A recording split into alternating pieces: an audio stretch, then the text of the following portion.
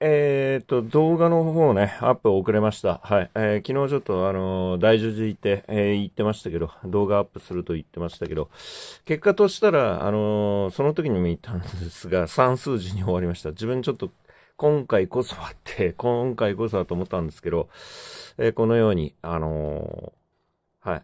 あのその、昨日の大樹寺からの生配信でも言いましたけど、22と37は見えてたって言いましたけど、そういうことです。で、算数字に終わって、で、あの、これ、バラバラで買ったやつが31入ってるんですけど、これ、縦目だったですね。こっちの方は、えー、22とか、あの、入ってなかったんで、はい、あの、こっちは2数字。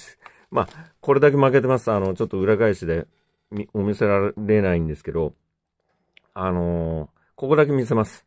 02狙ってました。あのー、比較的出るなら今回かなと思ったんですけど。で、まさかのね、あのー、先週、あのー、ね、一桁選んでた08が今回出るとは思わなくて、まあ出やすい日ではあったんですけど、ちょっと解説したいんですけど、あのその、22と37は、あの先週日曜日ね、あの、クアドアップル祈祷っていうのを4社行きました。で、伊賀八幡宮最後でライブ配信したんですけど、その時見えたって言いましたよね。20番台、30番台で。それが22と37だったってことですね。まあ、それはいいとして、あの、今回ね、あの1月20日が金曜日が大寒だったんですよ。二十四節気の、えー、第24番目。これ前にも言ったんですけど、あのー1月6日金曜日に召喚だったんですよ。これが第23番目。だから今回24出るかなとは思ったんですけど、これは出なかったですね。前回も23で出なくて。で、これがね、ヒントあるなと思ったんですよ。というのは、あのー、大寒をですね、カバラで、あのー、音数出すとですね、大寒の絶対音数っていうのが22になるんですよね。これ全部計算すると22になるんですよ。で、今回22が出たんですけど、まあそれ以前にもう自分、その伊賀八幡宮で祈祷を終えた時に見えてたんですよ、22は。で、先ほども言った、あのー、召喚が1月6日だったんですけど、その時の抽選っていうのが今回出た、赤いのが今回出た、あの、抽選数字なんですけど、03と31と14。これがですね、あの、今回の抽選でも出てるんですね。3つとも。はい。